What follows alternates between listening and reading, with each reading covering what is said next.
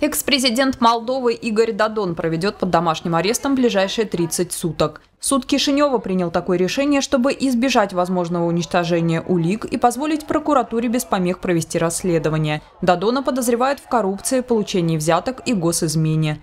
На днях в его доме провели обыск, а самого экс-президента задержали на 72 часа.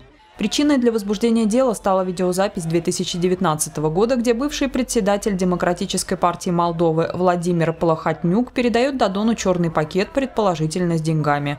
Это было за несколько дней до того, как Дадон покинул пост президента. Бывший глава республики заявляет, что его преследуют нынешние власти.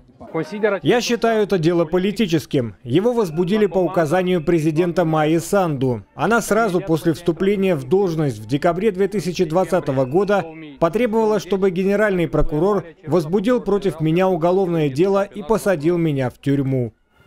Правительство Молдовы полностью отрицает вмешательство в этот процесс.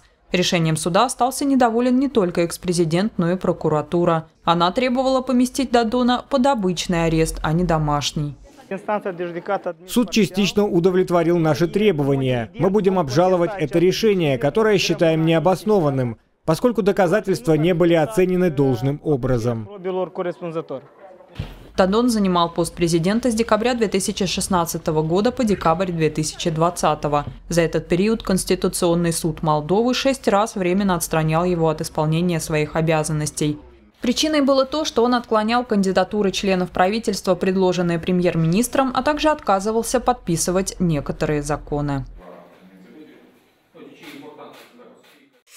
Подписывайтесь на наш канал и смотрите мировые новости. Мы освещаем факты, а выводы делаете вы сами.